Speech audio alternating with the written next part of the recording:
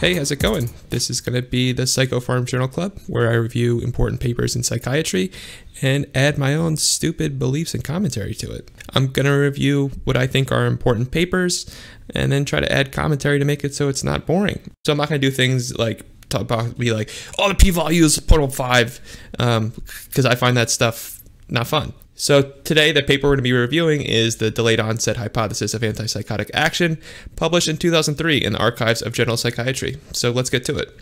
So as we learned in another video, before the 1950s, there were no antipsychotics, and treatment was really difficult and sometimes even dangerous. It wasn't until 1952 when chlorpromazine or thorazine was discovered that we had treatments for schizophrenia. And then in the 60s, it was proposed that the effect was due to the effects on the monoaminergic system, which to us today sounds too vague to really mean anything, but we have to remember science kind of goes slowly. And then in the 70s, it was found that the antipsychotics displaced dopamine from its receptor, and the affinity that it would do that correlated with the clinical potency of the drug. So today, it's now generally accepted that D2 blockade is the central way that these drugs work. And in the 90s and before, it was believed that there was a big gap between when you started the medication and when it worked similar to today, how the whole, you know, it takes SSRIs four to six weeks. There's a, a gap between starting treatment and then the therapeutic effect. So the phrase delayed onset for antipsychotics was coined in the 1970s and became a well-established kind of fact of the field. And the hypothesis there was that there was a two to three week delay between the start of medications and the onset of therapeutic benefits. And we have to remember that theories develop based on what is believed clinically happens. So people were looking for a reason as to why this gap existed, and they developed the depolarization block theory. So even though they knew that dopamine blockade was well established in the first few days, they needed a reason to explain why they didn't see effects right away. So the belief there was that repeated administration of antipsychotic drugs eventually caused dopaminergic neurons to undergo activation of firing, and then the inactivation of the firing was what caused the therapeutic effect, rather than the dopamine blockade itself. So what this paper kind of set out to do was to challenge this delayed onset theory that it took two to four weeks for the effect of the drug, and to see what actually happened clinically in terms of the when you started the drug and the effect. So the two competing hypotheses they were looking to test, which you can see here visually, were the delayed onset hypothesis, which is that after the drug reaches therapeutic level, there's a period of delay before the response begins, proposed to be two to three weeks. And then what this paper is putting forth is the early onset hypothesis which is that the effect starts simultaneously once the drug reaches therapeutic levels in the first few days. And then with any continuous process, the effect accumulates over time and then eventually plateaus. So both hypotheses would explain why it takes several weeks to achieve, you know, a substantial level of response. But the early onset hypothesis is saying that the uh, effect is occurring mostly in the beginning. So to test these two competing hypotheses, they did a meta-analysis of studies that used the BPRS, or just the thought subcomponent of the BPRS, or the PANSS score, or just the positive symptom subscales. So the BPRS is the Brief Psychiatric Rating Scale, and this is one of the oldest and most widely used scales to measure psychotic symptoms, and it was first published in 1962. And it consists of 18 different factors, which you can see here, and they're all ranked 1 to 7. The PANSS is the Positive and Negative Syndrome Scale, which is used to measure symptom severity of patients with schizophrenia, and it's kind of considered the gold standard for assessments of psychotic behavior, and it's widely used in antipsychotic studies. And as we can see, it's broken up into three different subsections. There's the positive scale, the negative scale, and the general psychopathology scale.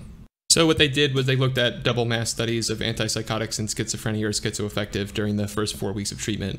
And they limit it to people who are taking medications, thorazine, Haldol, Risperdal, or Zyprexa. So some statistics nerd did some fancy mathematics to combine the 42 uh, different studies, and they came out with the percentage change in symptoms that took place each week. So looking at this picture on the left side, we see the mean overall clinical improvement, and then on the right side, we see the mean change in core psychotic symptoms. So the y-axis is improvement percentage, and just a heads up, they're different in the two different graphs. So to bluntly summarize what we're seeing is we see about a 15% change in the first week, about like an 8% change in the second week, and then the third and fourth week about like a 5% change. So what they found was that most of the change happens in the first two weeks, and then there's still some smaller amount of change in the next two weeks. So these results were not consistent with what was at the time the widely cited delayed onset hypothesis. So at the time, they thought that clinical improvement in the first two weeks was attributed to the improvement in non-specific symptoms like anxiety and agitation, rather than a change in the core psychotic symptoms. What's considered the therapeutic effect of the quote-unquote milieu. But what this showed was that the psychotic symptoms are actually the ones that make the major improvement in the first two weeks. So this should make you wonder why had the concept of delayed onset been so accepted? And this is probably a confusion between the onset of action versus the time required to achieve a given level of improvement. So while it is true that it does take a little bit of time to see the significant improvement, I think another important point is how much what we believe influences what we see. I feel like studies like this emphasize the importance of believing what's in front of our eyes and not letting our preconceived notions paint our reality. As psychiatric or medical providers, it's important to have a good grounding on all the science and facts of how these things work. But it's also important that we approach our own belief systems with a healthy level of skepticism. So, the big takeaway from this study is that antipsychotic action starts early after drug administration and that the effects of the drug are cumulative.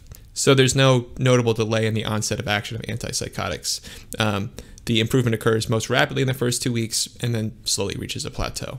So again, this gives us a sneak peek into how the science works. So because people believe that the onset was delayed, scientists were looking for biological events that were absent in the first few weeks and that appeared later. So you get a theory like the depolarization block of dopamine that's built on really unsolid grounding.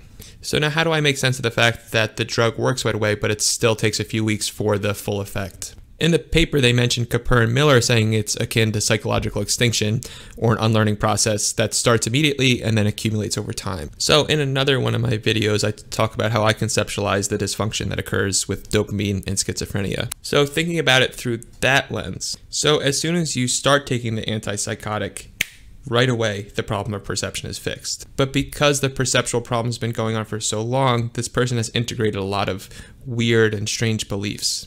So the person still has all these strange beliefs, and in order for these strange beliefs to go away, they really need time for evidence against these beliefs to build up so that the beliefs can go away. So, said another way, when someone is in a psychotic state, their hardware isn't working correctly. And because the hardware is not working correctly, they build all this really buggy, questionable software. When the person starts the antipsychotic, the hardware is fixed right away, but it takes time for the buggy software to get fixed. So, to summarize, this paper did not find evidence of what at the time was believed to be the delayed onset hypothesis of antipsychotics, but found robust evidence to support the early onset hypothesis. So, what they showed was that, there's no notable delay in onset of effect. There's more improvement in the first week, and then a gradual improvement towards a plateau. Thanks for watching. All right, if you found this helpful, you can consider supporting me on Patreon. Um, there I have question reviews where I kind of just go over board questions and add stupid commentary. All right, thanks.